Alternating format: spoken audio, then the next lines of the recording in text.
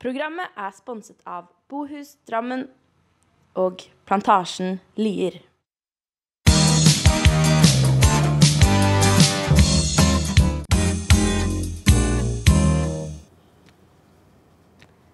Hei, og velkommen til dagens episode av Funkishjul.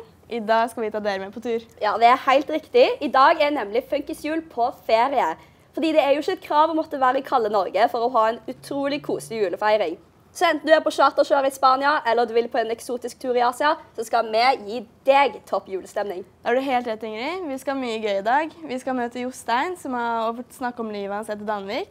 Så har vi to nye julenøtter, og vi skal følge Klaus videre på jakten etter tingene hans. Skal vi avslutte det hele med fantastisk sang og spill fra våre kjære prosjektledere. Det Men- gleder jeg meg veldig til. Jeg òg.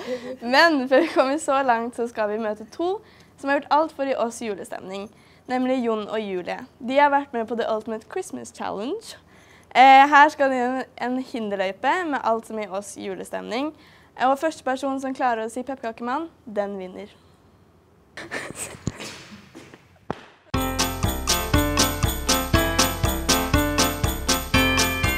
Klar, ferdig, gå! Kjør! Og vi er i gang! Og de styrter julebrusen nedover.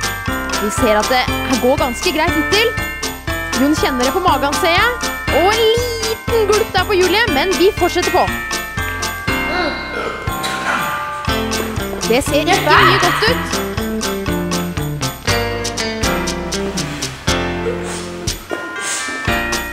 Det ser ut som de ligger ganske likt i teten her. Og en liten rap der. Men det er lov. Der var Julie ferdig, og nå skal hun hoppe opp i søppelsekken. Og det ser ut som de sliter litt med å få hull på denne sekken. Det er ikke bare bare. Jon klarer det der, og Julie like etter.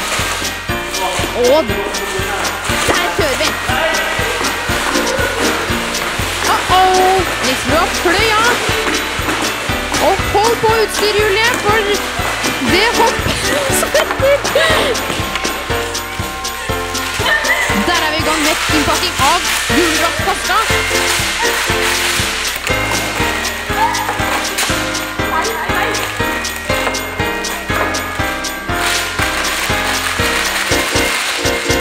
Jon kjører en annen taktikk enn det Julie gjør. Han ruller den rett og slett inn. Nei, det blir ikke veldig pent. Jon sliter med å finne tuppen på teipen. Der gir han opp. Og syr heller til bare glitterbånd.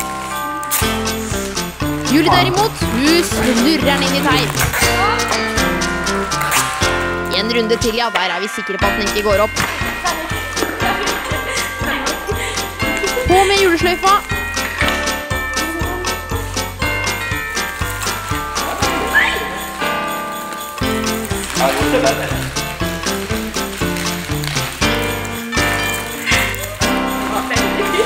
Ja, Julie, du er litt for fornøyd med den eh, gava der. Der er vi i gang med pepperkakespising, og de gafler innpå.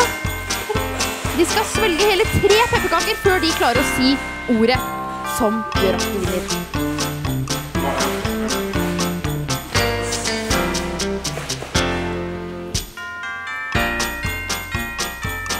Er nok vanskeligere enn det ser ut som. Det ser ikke mye godt ut.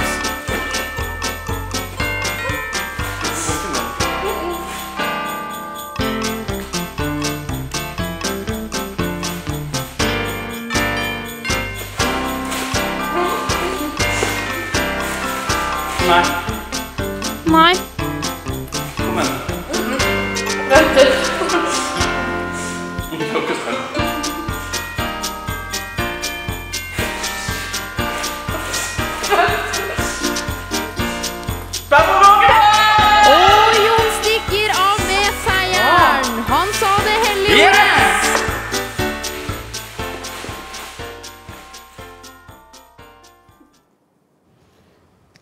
For en challenge, ass. Jeg vet ikke om jeg hadde klart den, eller hva, Ingrid? Nei, jeg hadde aldri klart det. All kred til Jon.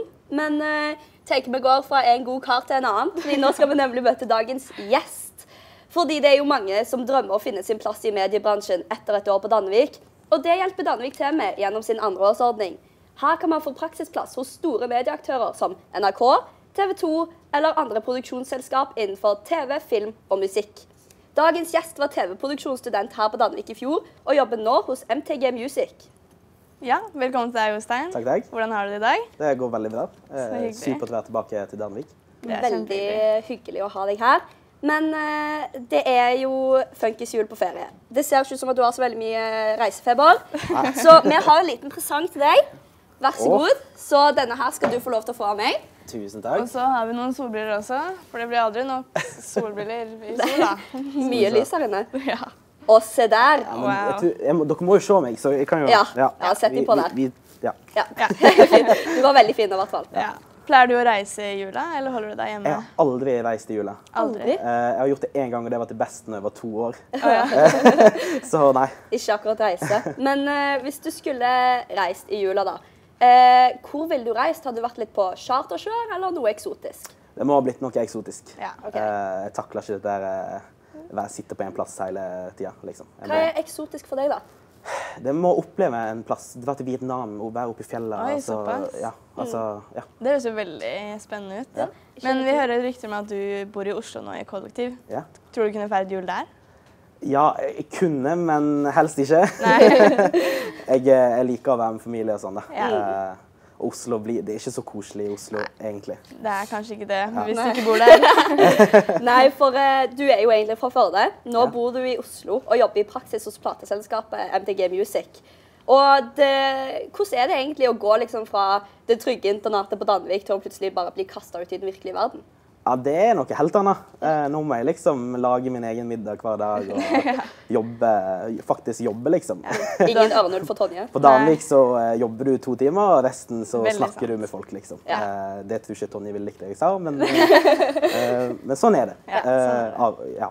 Det er en veldig, ja, det, er en veldig fin mulighet du har fått med Ja. praksisplass rett etter folkehøyskoleåret ditt. Men hva er det du egentlig gjør i jobben din akkurat nå? Åh, jeg gjør så mye. Ja. Det er så gøy der. Eh, jeg lager design til artistene sin Kult. profil. Altså lager headere, lager cover, lager promovideoer. Eh, av og til så lager jeg musikkvideoer. Okay. Eh, tar bilder for artistene. Ja, Eh, wow, det var jo full jobb, det. da. Ja, ja det, det er full jobb. Jeg gjør, eh, jeg gjør alt som må gjøres, da. Så gøy. Men det er jo veldig kult at du får gjøre så mye variert og så mye med så mange spennende folk. Mm. Og når du jobber i en sånn bransje, så havner du ofte i litt surrealistiske eh, situasjoner. da. Har du noen gang vært i en situasjon der du har vært på jobb, og så har du bare tatt et skritt tilbake og tenkt shit, dette er faktisk livet mitt? Ja, For noen uker siden så var jeg på et julebord Oi. Oi, med hele Musikk-Norge, eller altså Oi, ganske mange i. Musikk-Norge. Eh, på toppen av eh, Dere vet Arbeiderpartibygningen, den store i Oslo. Eh, helt på toppen der så er det en uteplass, og der var vi 100 stykk. Eh, og bare hadde en fantastisk fest. Yeah. Og så står du der, og så eh, ser du folk som er i store band. Og, yeah. eh, altså, sant? Og Du skal ikke name-droppe litt? Nei, altså ehm, Men Ja, og så står jeg der og snakker med fullt av produsenter Ja. og så har gjort liksom masse sjuke ting i bransjen. Mm. Og jeg er en del av det. Ja, ikke sant? Det er det, som er det er stilig. gøy. Eh, Men eh, det er jo en ganske stor kontrast da, fra gjerne julefrokost på Danvik, og så et år senere så er du på toppen av Arbeiderpartiet, bygger og lever livet. Ja. Men eh, Danvik er jo en fin plass, det òg. Hva er det fineste minnet du sitter igjen med fra denne skolen? Oh, altså, det, det, det er kanskje litt klisjé, men det er de fine, kjekke samtalene vi har med, med, lunsjen eller frokosten eller sant, med middagen. Sitter og prater. og Av og til så sitter du to timer lenger eller, Ja. ja. Ja, sant, med Ja. middagen. Eh, men husker LA-turen. da. Ja. Det var jo helt fantastisk. det har vært mye om. Og der har jeg en ganske sjuk historie. Uh, fordi at Larry, Ja. Han tok, Larry. han tok med meg og ei som bodde i LA, ut på middag uh, på en av kveldene. På en sånn fancy, gammel restaurant, gamleste restauranten i Hollywood. Oi. Eh, der har Marilyn Monroe hatt sitt faste bord, og Charlie Oi. Chaplin har liksom Det er den plassen jeg går. Mm. Og, og da jeg var der, så var jo det òg noen Han som spilte den nye Star Wars-filmen, var jo der. Og det er liksom, det er liksom der kjendisene går. der. Og Ja. der sitter jeg da med Larry og eter biff, liksom, Ja, og lever livet. dyr vin og bare Så da vet vi det. Hvis du vil ha jobb hos Larry, blir man ute på men det, var- det var bare så eh, Det var surrealistisk, det. Ja, det Jeg på. Det var, Det ja, det var rått. Ja. Ja, de som skal til LA, har virkelig noe å glede seg til. Ja, Ja, ja. det blir gøy. Eh, men det er veldig gøy for oss Danvik-elever å høre at det faktisk kommer folk ut i praksisplass. Mm. Eh, og jeg vet det er veldig mange som har lyst til det samme. Så har du noen tips vi kan eh, få? Ja, altså Bruk Danvik godt. Altså, Produser ting, ikke bare i timene, men på fritida. Ja. Bruk utstyret som er tilgjengelig her, sånn at du kan vise til eh, alt du kan til de du har lyst til å få jobb for. Eh, og i søknaden, liksom, ikke skriv en sånn kjedelig greie Nei. nedover. Du må vi, gi litt av deg sjøl. og så eh, kan du òg prøve å ta kontakt med folk ut, utenom Danvik og liksom lage en relasjon før du Ja. Før du skal ut. skal søke det. Det var gode tips. Skal jeg. Ja, skal huske på det. Men eh, Jostein, følger du noe med på hva som skjer på Danvik i år? Nei, ikke så mye. Ikke? Nei. Det skjønner vi jo egentlig godt. Ja, ja. Men uh, siden du ikke har fulgt med, så kan du i hvert fall følge med nå. Fordi vi har to nye julenøtter som vi skal uh, få. det var to nye.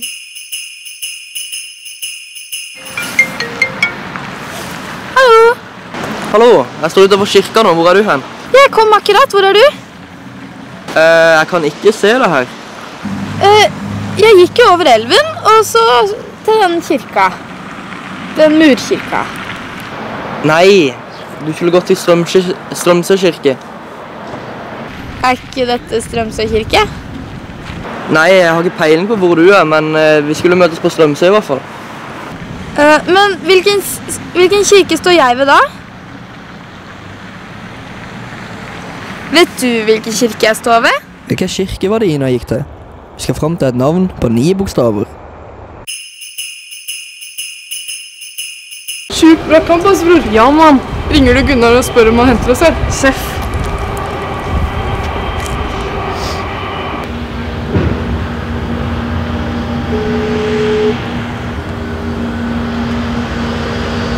Halla, kompis. Jo, Gunnar, vil du hente oss? Ja, Stefan. Det? Vi har vært på fotballkamp. Fotballkamp, hvor den er? Det er den store stadion i Drammen. Hvilken stadion? Ja, det er godsspiller. Nå skjønner jeg ikke hvor du mener, ass. Vet du hvilken stadion Gunnar må hente oss på? Hva heter stadion i Drammen? Vi skal fram til et navn på ti bokstaver.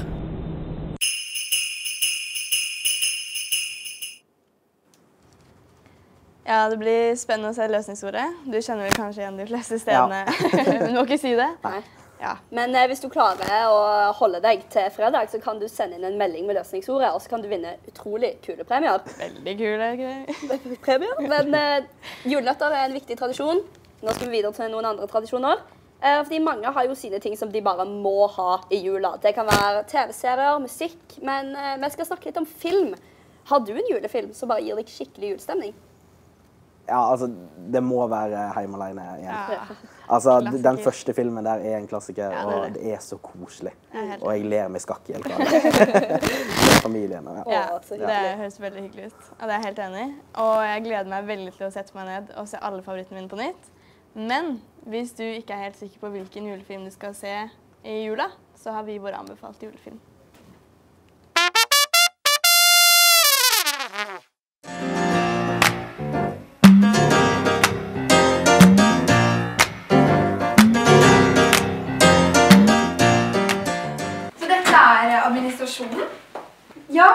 Kanskje hilse på personalet her på Danvik? Og dette er Ronja.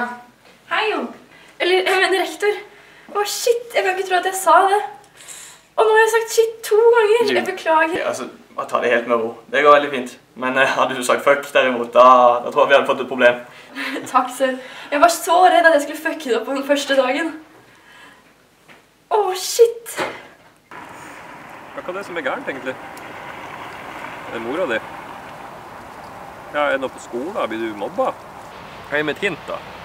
Vil du virkelig vite det? Mm, vil gjerne vite det. Vel, sannheten er det at jeg er forelska. Unnskyld?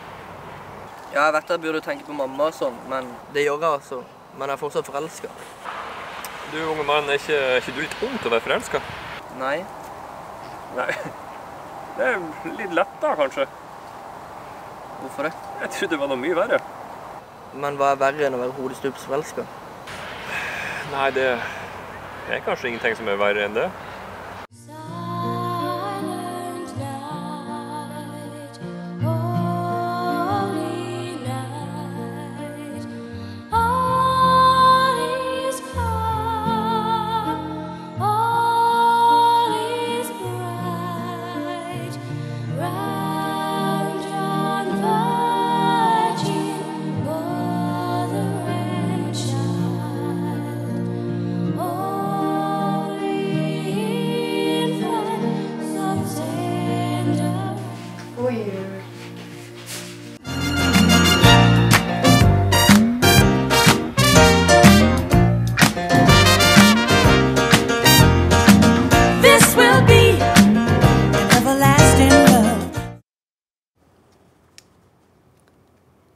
Kjenner at jeg blir helt glad i hjertet mitt av den filmen, og det er definitivt en del av eh, min førjulstid. Men eh, hva med deg, Jostein? Hva hører vi i din førjulstid nå?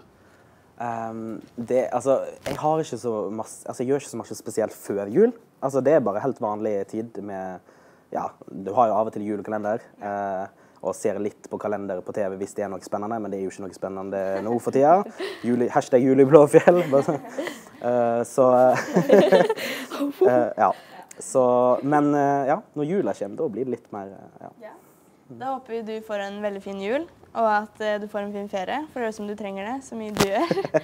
Men nå skal vi over til en fyr som ikke får så mye ferie. Nei, han får aldri fri. Nå skal vi nemlig få episode to av julekrimmen The Searching. I går fant vi ut at Klaus har mista alle tingene sine etter en liten tur på byen. Nå skal vi følge han videre i jakten etter ikke bare tingene hans, men òg gjerningsmannen.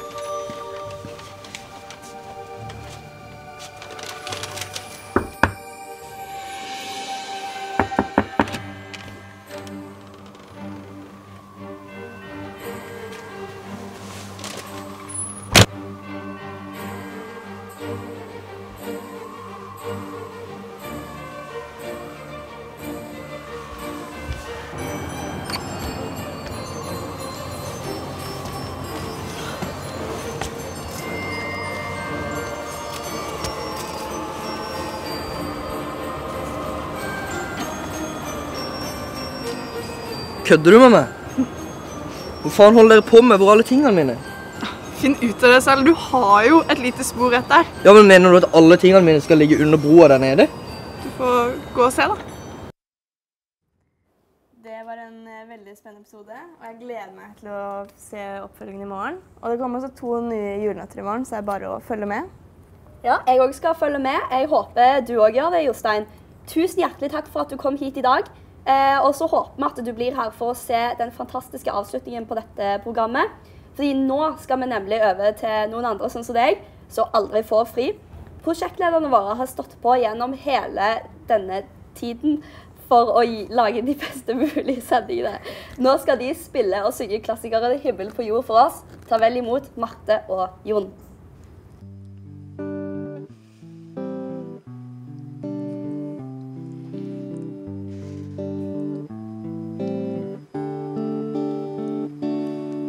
Jeg snublet omkring i svarteste natten.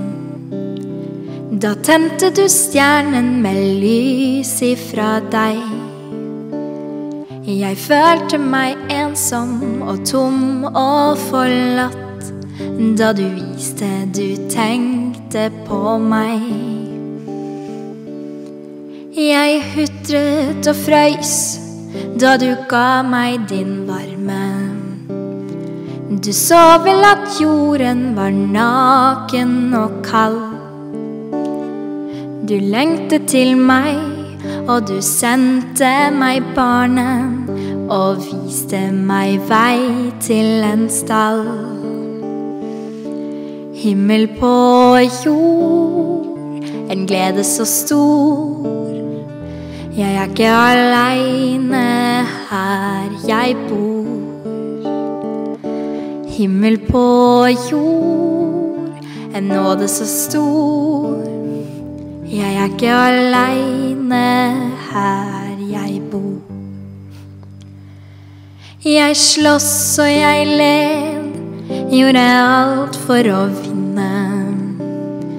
Da hørte jeg englene synge om fred. Legg våpnene ned, det er jul du må finne. En fred inni hjertet et sted. Himmel på jord, en nåde så stor. Jeg er ikke aleine her jeg bor. Himmel på jord, en nåde så stor. Jeg er ikke aleine her jeg bor.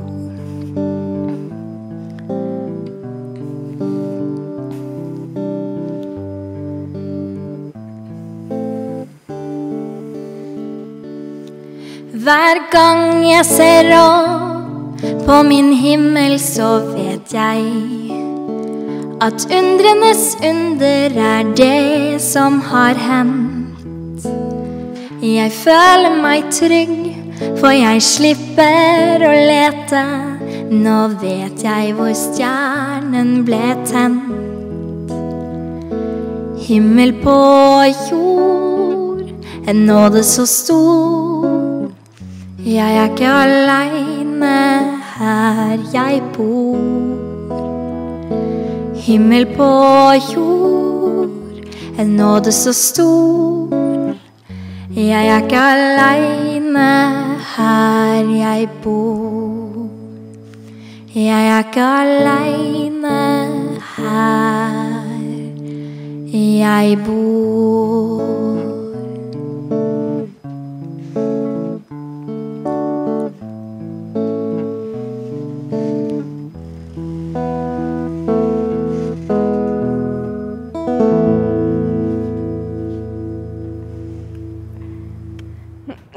Takk til Marte og Jon. Så er det bare for meg og Ingrid å takke for oss. Ja.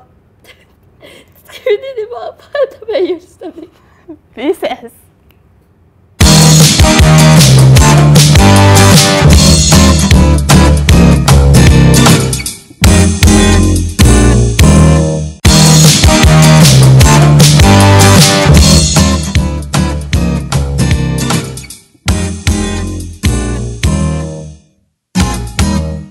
Programmet er sponset av Bohus Drammen og Plantasjen Lier.